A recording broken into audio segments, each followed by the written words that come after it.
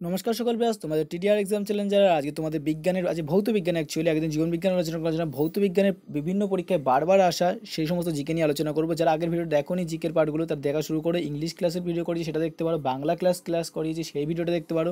আর চ্যালেঞ্জে নতুন হয়ে থাকো একদম তার চ্যানেলটা সাবস্ক্রাইব করে দিও, পাশে বেলকনটি বাজিয়ে দিও, সহজে নোটিফিকেশন পেয়ে যাবে। চলো কথা না বেরিয়ে আজ ভিডিও শুরু করে নিয়ে যাক। আর তার আগে একুশকে সাবস্ক্রাইব করার জন্য সকল ভিউয়ার্সকে আমার তরফ থেকে আন্তরিক শুভেচ্ছা। ভিডিওটি স্কিপ না করে পুরো ভিডিও দেখার জন্য সকলকে অনুরোধ করব, কারণ এতে তোমাদের অনেকটা হেল্পফুল হবে আর ঝালাই হয়ে যাবে আমার সাথে তোমাদের জিকেটা। প্রথম যে প্রশ্নটি হচ্ছে খুবই গুরুত্বপূর্ণ, বিভিন্ন পরীক্ষা বারবার এসছে। একটি বস্তু যখন সবচেয়ে বেশি হয় কোথায়? মেরু অঞ্চলে সবচেয়ে বেশি হয় আর নিরক্ষীয় অঞ্চলে সবচেয়ে কম হয়, ঠিক আছে? আর পৃথিবীর কেন্দ্রে সকল বস্তুর ওজন কী হয়? শূন্য হয়। তাহলে আমি কী বললাম? মেরু অঞ্চলে সবচেয়ে বেশি হয়, নিরক্ষীয় অঞ্চলে সবচেয়ে কম হয়, আর পৃথিবীর কেন্দ্রে সকল বস্তুর ওজন কী হয়ে থাকে? শূন্য হয়ে থাকে। দ্বিতীয় প্রশ্ন পাখির উড়ান নিউটনের কোন গতিসূত্রের নিয়ম অনুযায়ী বিশ্লেষণ করা যায়? তৃতীয় সূত্র? তৃতীয় সূত্র কি প্রত্যেক ক্রিয়ার সমান ও বিপরীত প্রতিক্রিয়া আছে? তাহলে তৃতীয় সূত্রটা কি? নিউটনের প্রত্যেক ক্রিয়ার সমান ও বিপরীত প্রতিক্রিয়া আছে, ঠিক আছে? আর পরের প্রশ্ন দেখো এ শুধু একমাত্র যে পাখির উড়ান নিউটনের যে গতিসূত্র পান এরকম না, তারপর হচ্ছে ধরো লিফটের প্রতিক্রিয়া, লিফট নামছে, উঠছে। মানে উড়ানামা, উঠানামা বিষয়টা কিন্তু একমাত্র তোমাদের খেয়াল রাখবে, তৃতীয় গতিসূত্রের সাথে যায়।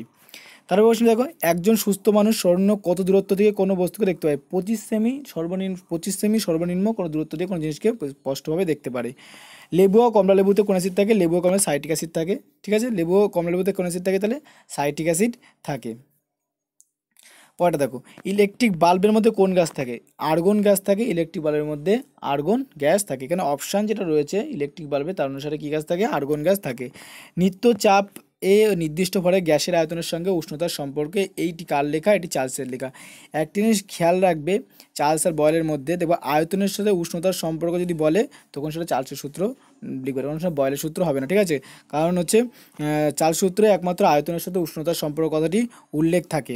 পরেরটা, ধাতু খোদাইয়ের কাজে কোন অ্যাসিড ব্যবহার করা হয়? ধাতু খোদাইয়ের কাজে নাইট্রিক অ্যাসিড ব্যবহার করা হয়ে থাকে। খুব গুরুত্বপূর্ণ প্রশ্ন, ধাতু খোদাইয়ের কাজে কোন অ্যাসিড ব্যবহার করা থাকে? ধাতু খোদাইয়ের কাজে নাইট্রিক অ্যাসিড ব্যবহার করা হয়ে থাকে। সোডা ওয়াটারে কী থাকে? অনেক পরীক্ষা বারবার এসছে, কার্বন ডাইঅক্সাইড গ্যাস থাকে। সোডা ওয়াটার, অর্থাৎ আমরা যে সোডাগুলো খাই সেই ধরনের সোডা ওয়াটারের মধ্যেও কিন্তু কার্বন ডাইঅক্সাইডই থাকে। পৃথিবীর পৃথিবীর চুম্বক ক্ষেত্র পৃথিবীর কেন্দ্রেই কেন্দ্রীভূত। তারপর একটা বাদ, বারো নম্বরে, তেরো নম্বর দেখো, একটি গোলাকৃতি, রিং আকৃতি ধাতুকে উত্তপ্ত করলে ধাতুটি প্রসারিত হবে। এর ফলে বাঁকা অংশটি গো এর ফলে ফাঁকা গোল অংশটি প্রসারণ বা সংকোচন নির্ভর করে রিংয়ের ব্যাসার্ধের উপর। পরে দেখো, নিচের পরিপূরক বর্ণ কোনটি? নিচের পরিপূরক বর্ণ কমলা, আকাশী, নীল, ঠিক আছে? নিচের যে অপশন অনুযায়ী নিচের পরিপূরক বর্ণ হচ্ছে কমলা, আকাশী, নাল। আর পরীক্ষাটা প্রশ্ন এসেছিল ডাব্লিউ পুলিশে যে প্রাথমিক বর্ণগুলো কী?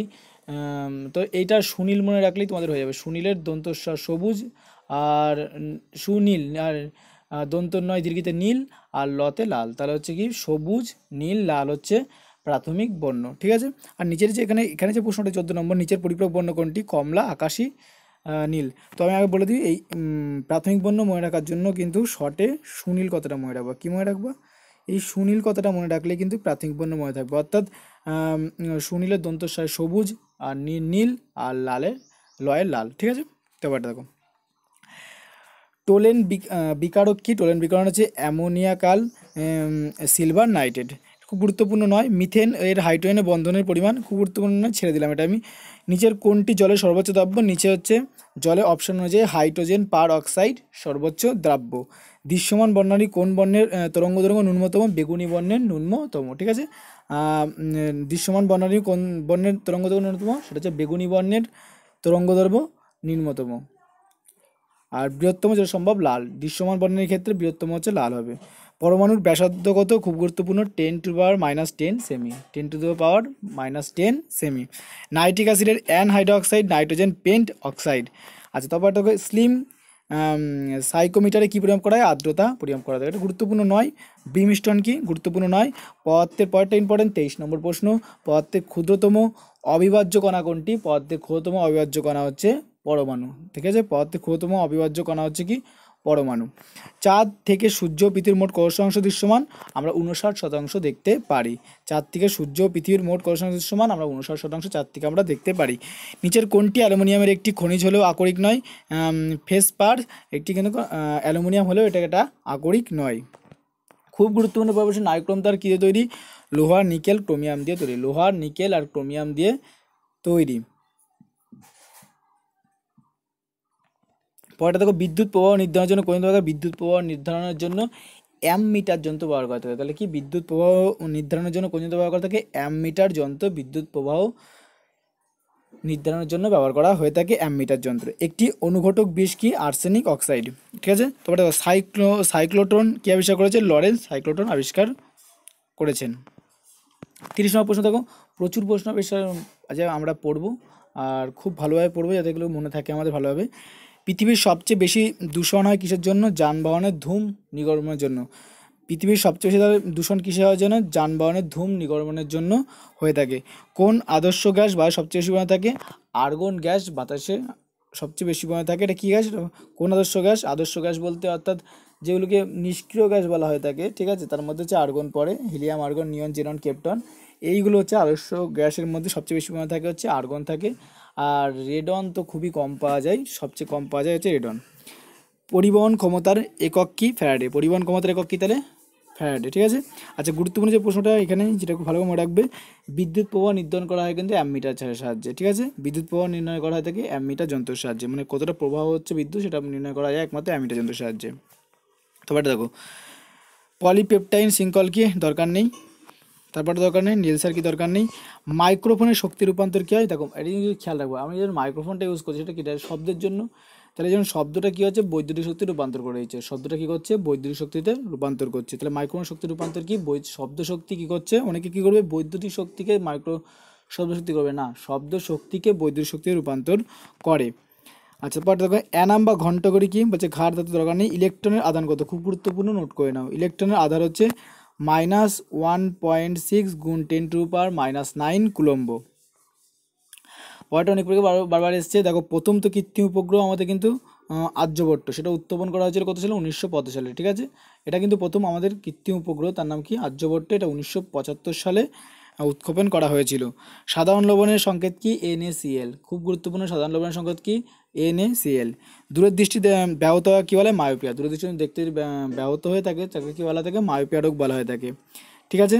তেতাল্লিশ নম্বরটা আসো। আলো যখন বায়ু মাধ্যমতে কাজ মাধ্যমে প্রবেশ করে, তখন আলোর গতিবেগ কী হবে? কমবে। আলো যখন বায়ু মাধ্যমতে কাজ মাধ্যমে প্রবেশ করবে, সেটা কী হয়ে যাবে? তখন আলোর গতিবেগটা কী হয়ে যাবে? কমবে। নিচের কোনটি মিষ্টিকারক স্যাকারিন হিসেবে টোলোইন মিষ্টিকারক স্যাকারিন হিসেবে ব্যবহার করা থাকে, ঠিক আছে? তাহলে মিষ্টিকারক স্যাকারিন হিসেবে কোনটা ব্যবহার করা থাকে? আমরা স্যাকারিনের নাম জানি স্যাকারিন শুনি, জিনিসটা কি? টোলোইন। টোলোইনটাই একমাত্র এখানে মিষ্টিকারক স্যাকারিন ঠিক আছে? স্যাকারিন অনেক ধরনের থাকে, কিন্তু মিষ্টিকারক হিসেবে যেটা ব্যবহার করা হয়, তার নাম হচ্ছে টোলোইন। নিচের কোন খনিজ পদার্থের মধ্যে অ্যালুমিনিয়াম পাওয়া যায় ফেলসপারের মধ্যে অ্যালুমিনিয়াম পাওয়া যায়। তবে ফেলসপার কিন্তু একটি আকরিক নয় ফেলসপার কিন্তু একটি আকরিক না আমরা কিছুক্ষণ আগেই পড়েছি। লেবু থেকে প্রাপ্ত জৈব অ্যাসিডটি কি? লেবু থেকে আমরা সাইটিক অ্যাসিড পাওয়া যায়। লেবু থেকে কী অ্যাসিড পাওয়া যায়? সাইটিক অ্যাসিড পাওয়া যায়। দুধে পাওয়া যায় ল্যাকটিক অ্যাসিড ঠিক আছে? আর এখানে সালফেরিক অ্যাসিড তো রসায়নের রাজাওয়ালা থেকে সালফেরিক অ্যাসিডকে ফেরাস অক্সাইড কি? মরিচা ধারা হচ্ছে ফেরাস বলছে ওটা দেখো আলফা কণা হলো কি? হিলিয়াম নিউক্লিয়াস আলফা কণা কি তার মানে? ওই আলফা বিটা গামা তো এখানে আলফা কণাটা কি? আলফা কণা হচ্ছে হিলিয়াম নিউক্লিয়াস ঠিক আছে?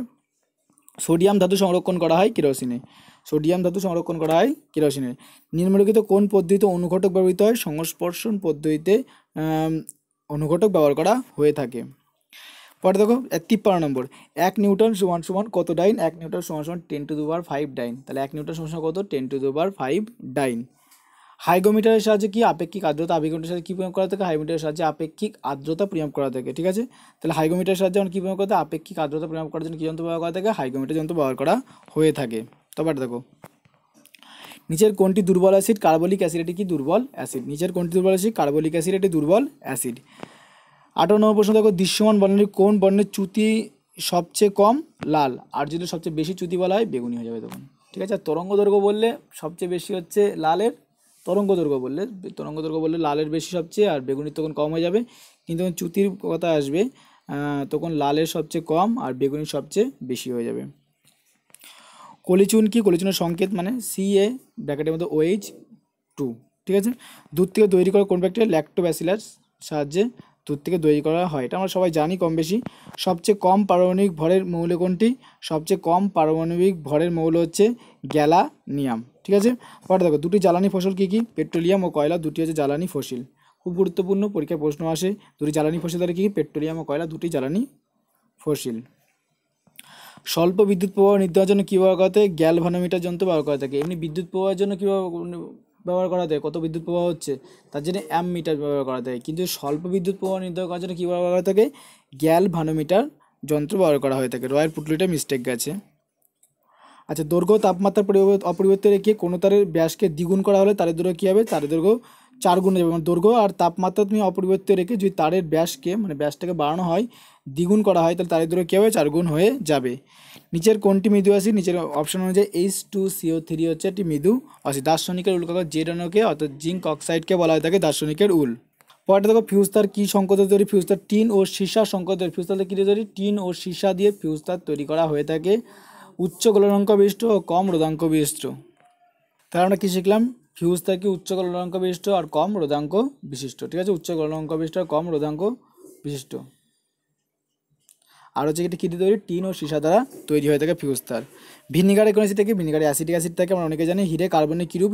কার্বনিক কিন্তু একটি রূপভেদ আচ্ছা গান পাউডার বারুদ তৈরি করা হয় কী কী দিয়ে? গান পাউডার বারুদ তৈরি করা হয়ে থাকে সালফার, চারকোল, আর কি, অ্যালুমিনিয়াম দিয়ে। সালফার, চারকোল আর অ্যালুমিনিয়াম দিয়ে গান পাউডার তৈরি করা হয়ে থাকে। গাড়ির হেডলাইটে কোন কাজ ব্যবহার করে? গাড়ির হেডলাইটে অধিবৃত্তকার দর্পণ ব্যবহৃত করা হয়ে থাকে। এগুলো কোটি গুরুত্বপূর্ণ নয় এই পরীক্ষার জন্য। তবে এটা দেখুন, সাত নম্বর। নিচের কোনটি ভৌত পরিবর্তন? কর্পূরের বাষ্পীভবন হচ্ছে ভৌত পরিবর্তন। দেখো, যেটা ফেরত পাওয়া যাবে না, সেগুলো হচ্ছে সব রাসায়নিক পরিবর্তন। ঠিক আছে, যেটা ফেরত পাওয়া যাবে না, সেটা হচ্ছে সবই রাসায়নিক পরিবর্তন। সরি, কিছু ভুল বললাম, আশা করি। তারপর দেখো জার্মান সিলভারে কোন কোন ধাতু সংকট থেকে জার্মান সিলভার থেকে তামা, দস্তা, নিকেল দিয়ে জার্মান সিলভার তৈরি করা থাকে। তামা, দস্তা, নিকেল দিয়ে জার্মান সিলভার তৈরি করা হয়ে থাকে। তবে দেখো, এগুলো লাগবে না। লাস্ট প্রশ্নটা দেখো ইলেকট্রনিক কারেন্ট কী যন্ত্র ব্যবহার থাকে? ইলেকট্রনিক কারেন্ট কিন্তু অ্যামমিটারের সাহায্যে ইলেকট্রনিক কারেন্ট মানে তড়িৎ প্রবাহ মাত্রা পরিমাপ করা হয়ে থাকে কিসের সাহায্যে? অ্যামমিটারের সাহায্যে বা বিদ্যুৎ প্রবাহ মাত্রা প্রয়োগ করা থাকে অ্যামমিটার যন্ত্রের সাহায্যে। ঠিক আছে? আর ভিডিওটি অবশ্যই ফ্রেন্ড থেকে শেয়ার করতে ভুলো না। খুব তাড়াতাড়ি আবার নেক্সট ভিডিও তোমার সাথে আসব। আর ভিডিও ভালো লাইক করো চ্যানেল তুমি চ্যানেল সাবস্ক্রাইব করো। Jai Hind, Bande Mataram take care